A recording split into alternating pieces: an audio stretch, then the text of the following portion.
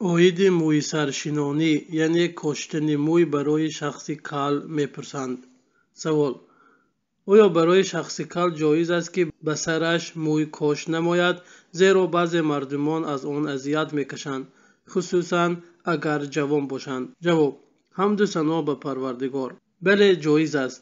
Чунки ин кор аз навъи баргардондани он чизе аст ки аллоҳ субҳанаҳу ватаоло офаридааст ин кор ба манзилаи бартараф кардани айб аст ва аз навъи ороиш ва ё изофа кардан бар офариниши аллоҳ таоло ба ҳисоб намеравад.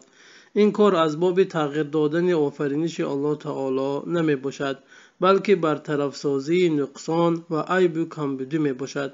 қиссаи се нафаре ки пӯшида нест ки яке аз онон кал буд ва гуфт ӯ дӯст медорад ки аллоҳ таоло мӯяшро ба ӯ баргардонад он гоҳ фаришта дасти худро бар ӯ молид аллоҳ таоло мӯяшро бар ӯ бозгардонд ва ба ӯ мӯи зебо дода шуд.